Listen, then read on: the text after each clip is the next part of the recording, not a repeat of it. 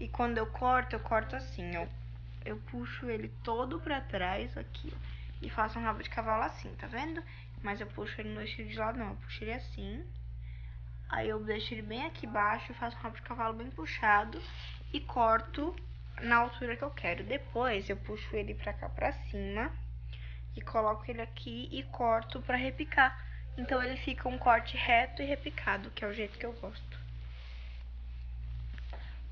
Você não responde, o povo vai embora. É que eu falei que eu só, eu só consigo conversar sem música. Se coloca uma música, eu não consigo, não consigo responder, eu só tenho que cantar.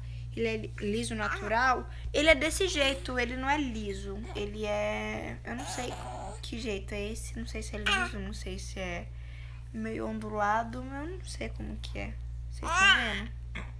Isso é liso? Eu não sei. Mas ele é desse jeito. Eu lavei ele ontem e deixei. E dormi de ontem pra hoje com o cabelo molhado. Aí ele acordou assim.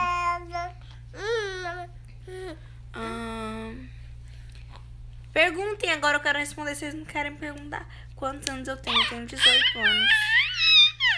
E ela tem 9 meses.